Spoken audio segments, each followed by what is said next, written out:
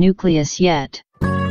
Physicists working at the Relativistic Heavy Ion Collider, RHIC, at Brookhaven National Laboratory, where conditions in the early universe are recreated, have discovered a new type of antimatter nucleus that is the heaviest ever discovered.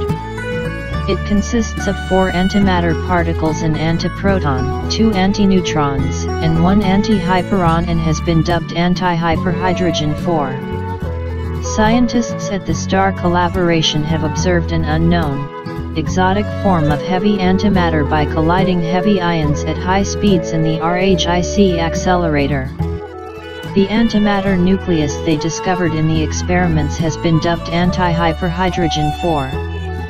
By studying this particle, physicists hope to uncover key differences between matter and antimatter that could help explain why our universe is filled with matter rather than antimatter.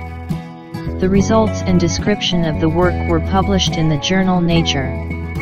It is believed that the properties of matter and antimatter are symmetrical and that at the beginning of the universe there were equal amounts of both. However, some unknown, mysterious mechanism caused the annihilation of most of the matter and antimatter. Only a small part of the matter remained, which created the world we see today.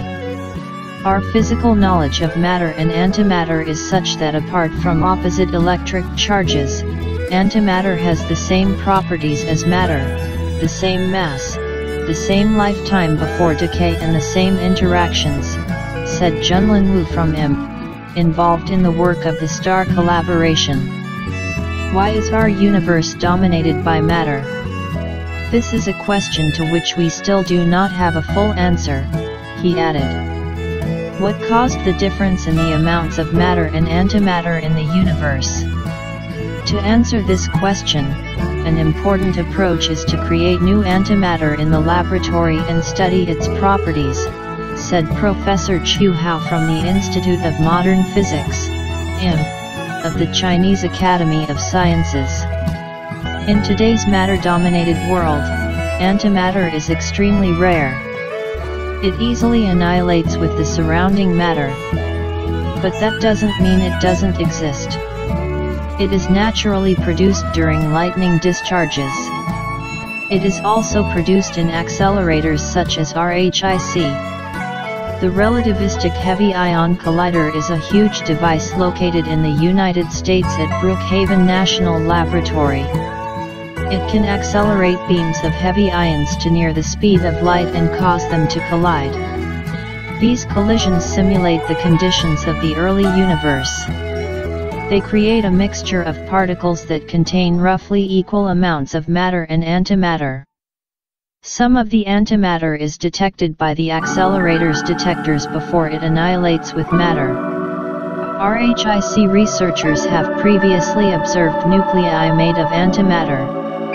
In 2010, they detected an antihypertriton consisting of an antiproton, an antineutron, and an anti-lambda hyperon. This was the first case of an antimatter nucleus containing a hyperon a particle classified as a strange particle containing at least one strange quark, not just the lighter up and down quarks that make up protons and neutrons. A year later, the antimatter equivalent of the helium nucleus was discovered there, anti-helium-4. Hyperons occur in hypernuclei and replace at least one nucleon there. The first hypernucleus was discovered in 1952 by Professor Marian Danysz and Professor Jerzy Pniewski from the Institute of Experimental Physics, Faculty of Physics, University of Warsaw. The newly discovered antihyperhydrogen 4 was created at RHIC. It consists of one antiproton, two antineutrons, and one antihyperon. Due to the presence of an unstable hyperon, antihyperhydrogen 4 decays almost immediately. After analyzing experimental data from about 6.6 billion heavy ion collision events, we reconstructed antihyperhydrogen 4 from its decay products, Wu said.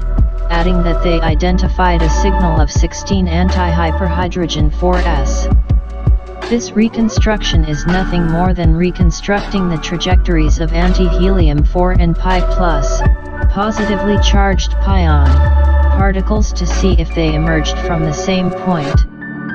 The researchers also measured the lifetime of anti-hyperhydrogen 4 and found no significant difference compared to the lifetime of its corresponding hyperhydrogen 4 particle, further confirming the symmetry between the properties of matter and antimatter.